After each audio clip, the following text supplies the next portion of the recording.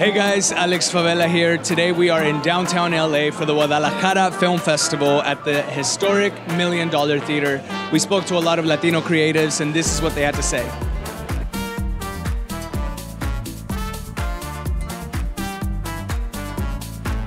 I'm so excited to be here. It's such a great organization. It's such a great um, crowd of people and amazing films. I know there's a lot of talent here, and I'm very, very honored to be a part of it.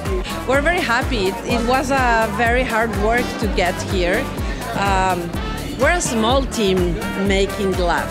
So it's like uh, for us, for for our, GLAFF community, it's, this is a big party. We, want to show the films. We want to share with everybody the, our, our, our program in this night. So we, we are very excited to be here. I'm a writer, an actress, and a producer, and um, just writing stories to help bring more, you know, regular stories to the Latino community here in the U.S. and, of course, in Mexico. It's about time for us to start breaking down the walls of what is possible for black and brown people, queer and trans people on screen.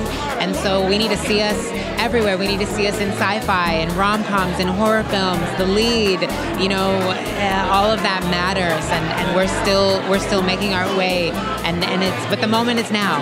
Híjole, muchísimas. Empezando por mi madre. Mi madre es como mi mayor motor, mis sobrinas, o sea, verlas crecer y ver que tienen 11 añitos y que tienen todo el mundo por delante me hace, me, me dan ganas de dejarles un mundo mejor. Mi familia de mi padre hacia, hacia atrás o hacia, hacia mis ancestros, pues vivieron una vida muy difícil en cuanto al machismo, ¿no? Que se vive en México y en muchos lugares del mundo.